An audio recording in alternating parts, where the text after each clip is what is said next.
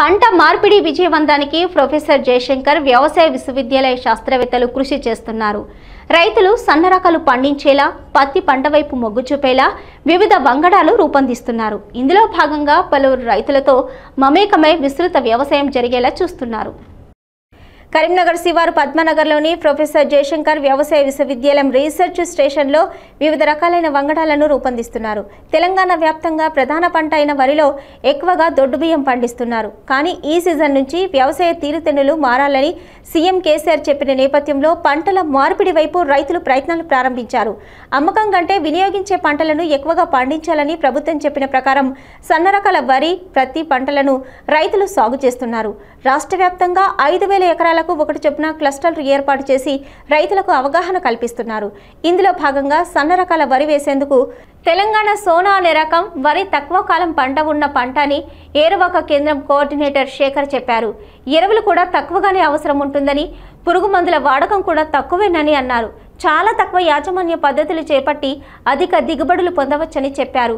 ఉమ్మడి కరీంనగర్ జిల్లాలో ఇప్పటికే యాభై శాతం సాగు ప్రారంభమైందని సన్న రకాల వరితో పాటు పత్తి పంటపై కూడా రైతులు ఆసక్తి చూపిస్తున్నారని అన్నారు. చాలా చోట్ల సాగునీటి వసతి మెరుగవడంతో పత్తిని సాగు చేస్తూ అంతర పంటలకు కూడా వేస్తున్నారని చెప్పారు. ప్రొఫెసర్ జయశంకర్ వ్యవసాయ విశ్వవిద్యాలయం ద్వారా రైతులకు సూచనలు చేస్తున్నామని వారికి తగిన వంగడాలు రూపొందిస్తూ లాభసాటి వ్యవసాయం జరిగేలా చూస్తున్నామని చెప్పారు.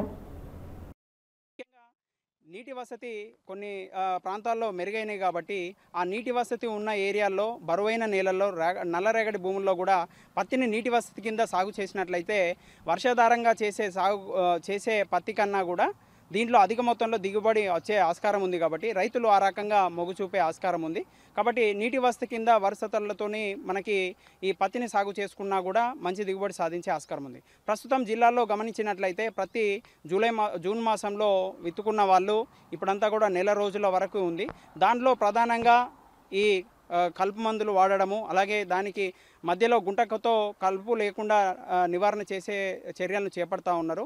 అలాగే ముఖ్యంగా గమనించాల్సిన విషయం ఏమనంటే ఈ పత్తిలో రసం పీల్చే పురుగుల బెడద ఉన్నట్లయితే దానికి మొదటి దశగా మనకి నివారణ చర్యల్లో భాగంగా ఈ పత్తిలో కాండం బొట్టు పెట్టే పద్ధతి కాండంపై బొట్టు పెట్టే పద్ధతి దానిలో మోనోక్రోటాఫాస్ అనే మందుని పంట మార్పిడిలో భాగంగా పత్తి పంట వేశామని పలువురు రైతులు చెప్తున్నారు. పత్తితో పాటు రెండు రకాల అంతర పంటలు సాగు చేసే అవకాశం ఉండడంతో సాగు లాభసాటిగా ఉంటుందని అన్నారు. శాస్త్రవేత్తల సూచనలు అనుసరించి వ్యవసాయం కొనసాగిస్తున్నామని తెలిపారు. కొన్ని ఇత్తులు మొలవక మొలవలేదు. అందుకని మళ్ళీ పోగొట్టలు కూడా పెట్టిన పెట్టినాడే పెద్దవాన కొట్టింది.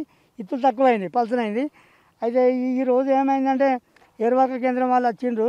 ఈ బొట్టు పెట్టే కార్యక్రమం పద్ధతి చేయాలన్నారు. అది కూడా చేస్తామని చెప్పినాం. ఎరువాక కేంద్రం సార్ వచ్చిండు. ఇప్పుడు ఇవరిదాకా మాకు చెప్పడం జరిగింది. రెండు కంచాలు పోసినాం సార్ అందరు బా భాగానికి.